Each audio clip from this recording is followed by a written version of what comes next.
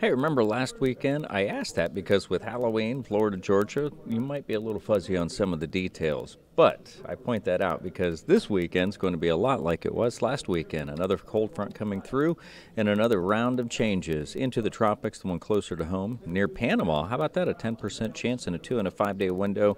Models do nothing but that particular swirl. In this one, it's a real head scratcher in the fact that it doesn't look like the circulation's connected. The moisture is well offset, but either way, it's still a little stronger, and we'll continue to monitor Wanda at 58 degrees. A pleasant start to the day, and temperatures will continue to warm to the upper 70s this afternoon. 77 degrees with what will be our near seasonal temperatures continuing during our morning and afternoon hours. So partly cloudy skies here for today. A little warmer under sunny skies for Wednesday as the cloudy skies return and showers develop late into our Thursday forecast. That's the 40%, right now at 80%, and there are models that continue to aim higher on Friday, and that's what looks likely.